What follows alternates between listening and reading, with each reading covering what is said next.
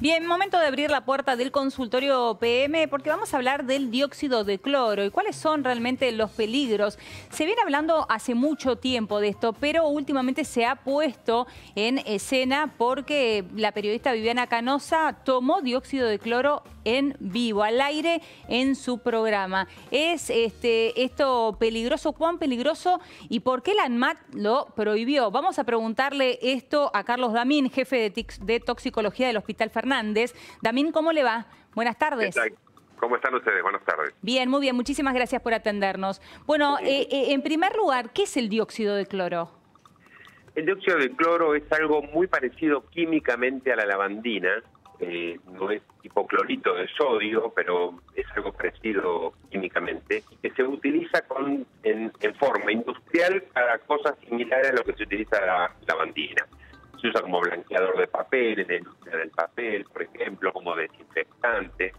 Em, y el tema es que no es exactamente que el Ministerio de Salud a través de las MAP lo haya prohibido, sino simplemente que nunca lo autorizó como medicamento. Claro es distinto, es decir, no es una sustancia prohibida, es una sustancia no autorizada como medicamento. Todos los mm. medicamentos tienen, eh, eh, para poder ser usados en humanos, que pasar, bueno, fíjense lo que nos está pasando con la vacuna del, del COVID, ¿no? Es cierto. digamos que pasa por muchos ensayos clínicos, primero en distintas etapas, que empieza a probarse en humanos, se demuestra que no es tóxico y se demuestra que es efectivo para determinadas enfermedades. Mm. Bueno, el dióxido de cloro nunca fue aprobado como medicamento para ninguna enfermedad.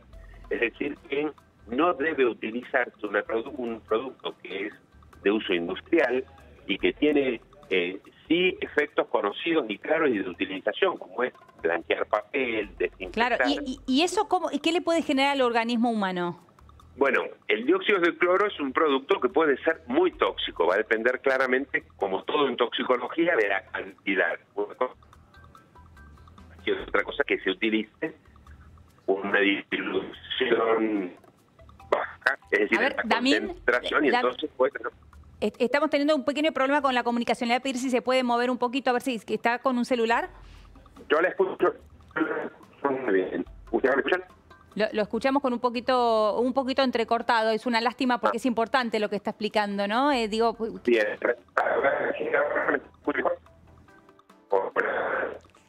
No, vamos, vamos a intentar volver a llamarlo, Damín, porque es importante que nos explique, bueno, qué, efectos pueden generar en el organismo humano el dióxido de cloro y por qué hay este, eh, tantas personas que hablan de esto como si fuese algo inocuo. Vamos a ir ahora a una pequeña pausa en la Nación PM. Quédate ahí, ya venimos.